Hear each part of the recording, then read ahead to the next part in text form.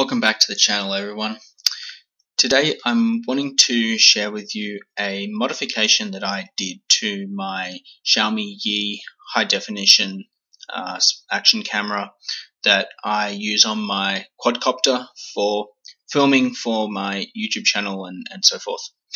Now the Xiaomi Yi comes ready to go out of the box. However, one of its major downfalls in my perspective, is its ability to capture the audio that the quadcopter is putting out with the motors uh, because it's affected by the wind and, uh, and a lot of background noise comes in.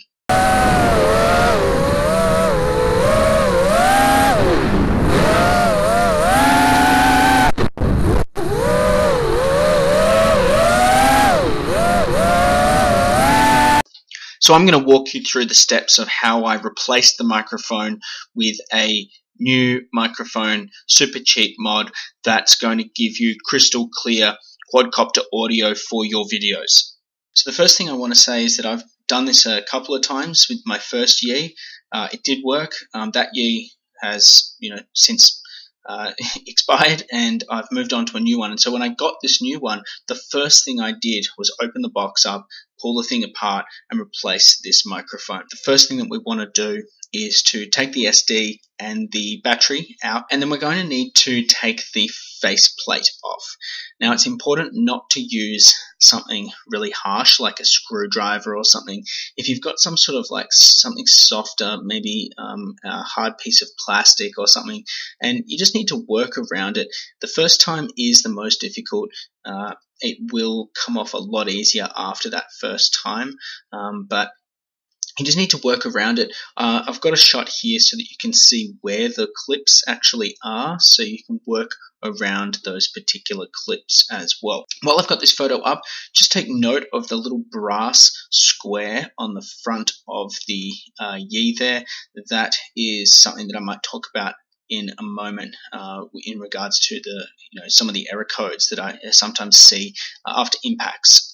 So once we've got the front plate off, there are I think four screws that need to be removed.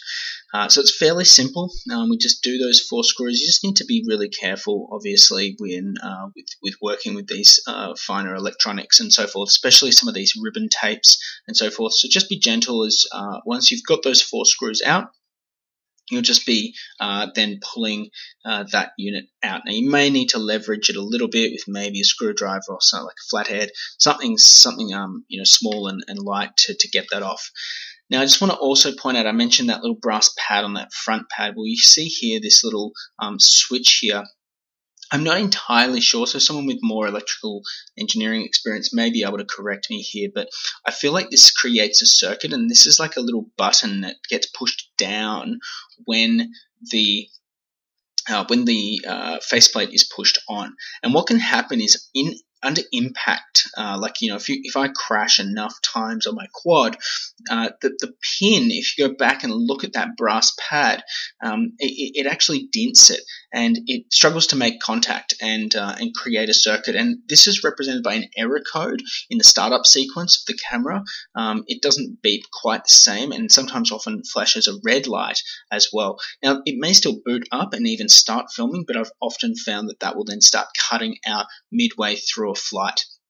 And so one solution that I found is to uh, just basically put some solder on that pad the, on the front plate and build it up so that there's a bit more, um, bit, bit, it's a bit uh, larger, so it, it, pushes in easier, and um, and also to run a zip tie around the whole camera at the bottom there where that is, just to give it a bit more pressure. So once we uh, take the unit, like I guess the circuit board, out of the uh, of the camera case, you can see here the microphone at the top. And what we're going to be doing is removing that so that you see that brown tape. We're going to actually remove that brown tape um, there next to the uh, the microphone, and that's going to expose the two little solder pads. So sorry about the focus on some of these images. I was just doing this as I as I did my mod quickly. So we're going to desolder those two pins. Uh, so go ahead and do that and remove that microphone uh, uh, off the main board. note just to keep your soldering iron tip um, not too hot because these these are small little pads and you definitely don't want to nuke and uh, fry off those pads, lift a pad uh, while doing this. Now I went ahead and bought a whole, I think there was maybe 10 or 20 of these miniature microphone uh, pieces off eBay or Alibaba or somewhere like that. I'll put a link in the description so you can uh, get them. They work relatively, they work really, they work great. Um, just a note here that the the line, uh, the the pad on the bottom with the little three uh, runoff lines, that is actually the negative. Okay, now uh, what I've done is I've actually gone ahead and soldered onto that. Um, I've then um, put some hot glue over the whole base because when you install it, it actually touches up against other circuitry on the actual camera boards. So I've um, also run some heat shrink around the actual uh, microphone as well, just to make sure that if that, because it was metal, um, I just really wanted to make sure that that was all covered off as well. So coming back, we're just going to solder that in to the same place that the uh, that the old old one was in, but you will see that it's quite a bit larger as well. Now I'm not particularly sure as to why that is. Um, but yeah, basically, uh, it is going to be a little bit more tricky to get back into that same spot. So uh, as you can see here, there's actually a piece of rubber um, that's that was twice the size. And what I've done is I've gone ahead and uh, taken that rubber piece out and I've cut it in half and pushed it back in to make room for the other microphone uh, to, to slot back in here. So here's a piece of rubber here. Um, you can just throw that other half away. You're not going to need that and just ram that back in here. Um, that's obviously stabilizing the uh, camera lens and sensor, so it's a bit of vibration dampening, so you definitely want that in there. So next thing I did was uh, just applied some hot glue. I wanted this to be uh, you know, relatively stable in here. I also replaced that um, that tape that was there previously and look, this is from my old mod, but I wanted to include this. Uh, that basically, you know, in my previous mod, I just used some electrical tape here, but I had put a whole lot of foam in here. And again, I'll also point out that I'm not mounting the microphone facing up like the original. I've got it down here, and it, look, this is going to mean that general um, audio is not going to be captured as well. Uh, it is going to be quite muffled, but I'm really using this specifically to record my quadcopter and get that cl- nice clean um, motor sound um, for the backing to my videos. So I've also then stuffed this uh, foam in here, again uh, more wind dampening uh, and so forth. And yeah, that was my previous previous attempt to this.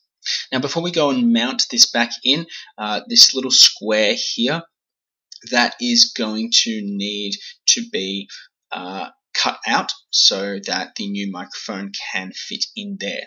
So go ahead and just, uh, I just use some, uh, you know, clippers, pliers, whatever, and basically just cut that out um, and get away with, get all of that out of there so that you're going to get the clearance that you need.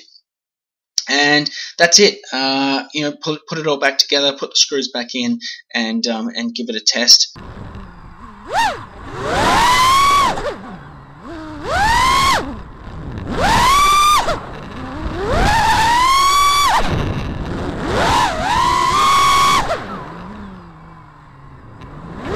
You found that uh, helpful.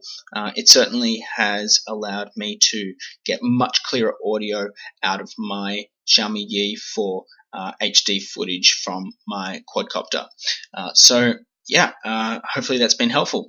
And if you um, do this mod and have any other ideas on how you could improve on it, or, or if it's been beneficial for you, please hit like, um, drop a comment in the uh, in below and uh, be sure to subscribe to the channel so that you can uh, keep up to date with all of the footage that I've got planned uh, coming out. So thanks again for watching everyone. Take care. Bye bye. Happy flying.